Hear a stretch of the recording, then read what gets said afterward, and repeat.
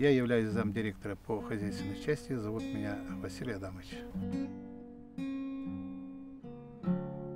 Все, что сделано здесь в лагере, сделано мною и с теми инструкторами, с которыми я работаю.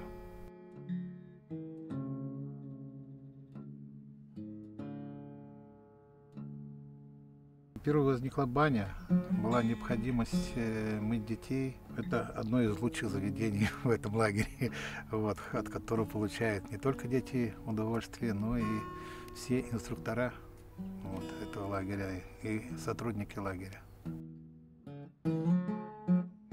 Потом э, решили привести, поставить еще три домика, так как э, появились зимние группы участников.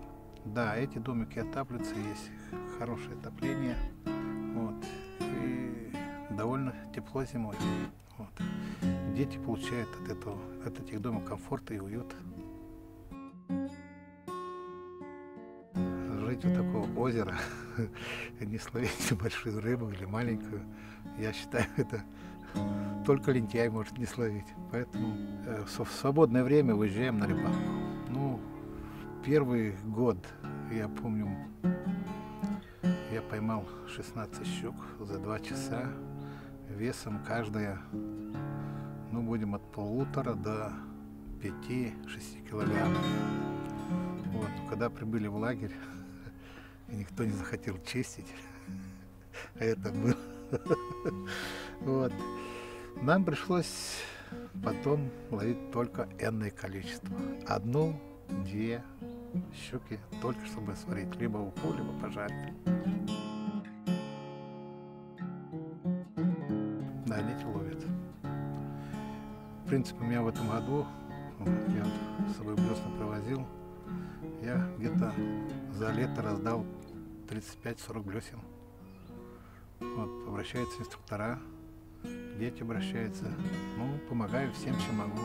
Кому-то удочку, удочку сделать, кому-то спиннинг настроить кому-то блесну дам. Вот так все и проходит у нас. Сначала на червя, достаточно одного-двух червей, а потом можно ловить на пойманную рыбу, на мясо. Режешь кусочками мясо и ловишь. Все так же.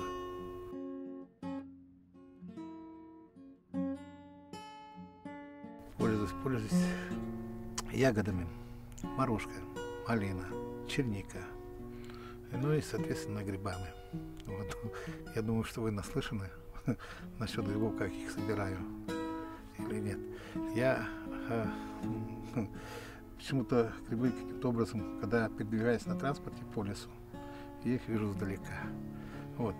То, что не дано узору другим, я каким-то образом это уже вижу издалека. То есть я уже вижу, где он сидит, я тут же останавливаюсь, подхожу, срезаю, вот, пока доезжаю от дороги центральной до лагеря, вот, бывает такие моменты, что я набирал полтора-два ведра белых грибов. Э, что дает, приспосабливает детей к самостоятельной жизни. То есть здесь те условия, в которых э, нет, э, например,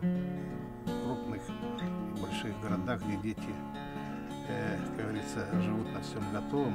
Вот. А здесь они сталкиваются с теми проблемами, которые их ждут в дальнейшей жизни.